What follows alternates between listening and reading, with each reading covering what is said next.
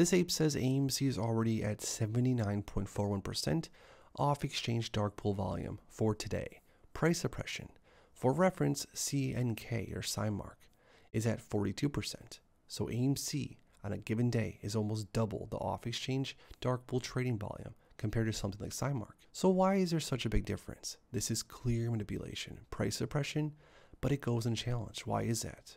Why does AMC fight the clear price suppression day after day after day? So this is a topic that the apes have been talking about for a very long time now, but it seems like it's finally starting to get out there even more now. Ever since the mainstream media has been talking about the possibility of banning short selling, a lot of these big issues now are actually starting to surface, which is incredible. And although time after time it seems like nothing happens, maybe this time could be different. A story in two parts. The US banking system is sound and resilient, and then 722 banks reported unrealized losses exceeding 50% capital.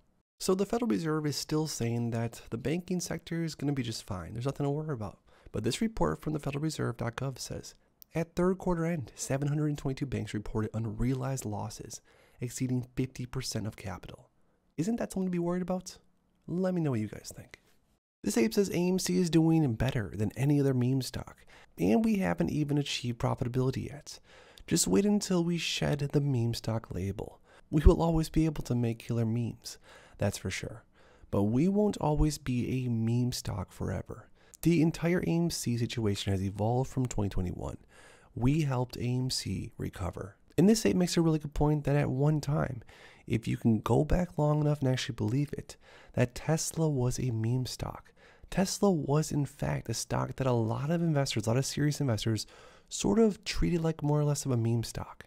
And even though AMC at this point does still have the meme stock label in the mainstream media and others, the company and stock itself has climbed its way out of that category, if you ask me. The company's fundamentals have improved dramatically. The box office numbers, as well as other numbers across the various verticals, have been increasing like crazy quarter after quarter.